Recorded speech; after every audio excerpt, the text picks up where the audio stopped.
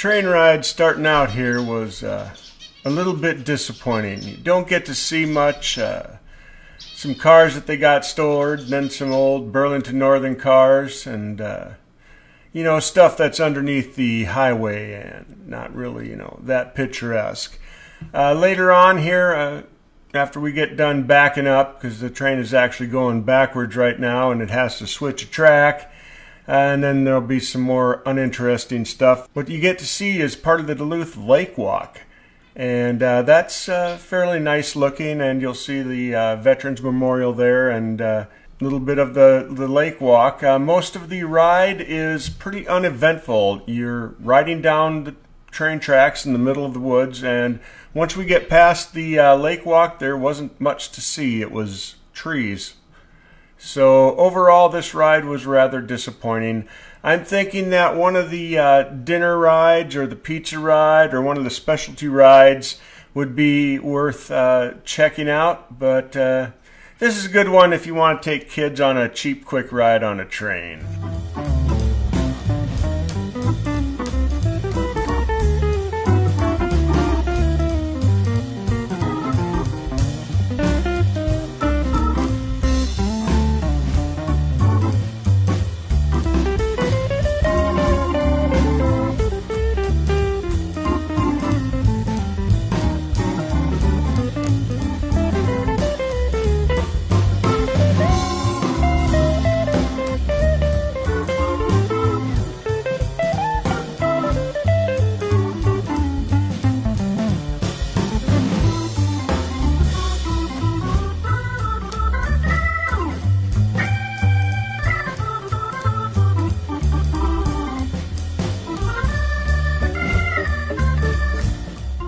All right, what I try to show here is the switchman jumping down off the locomotives and throwing the switch so we can change tracks.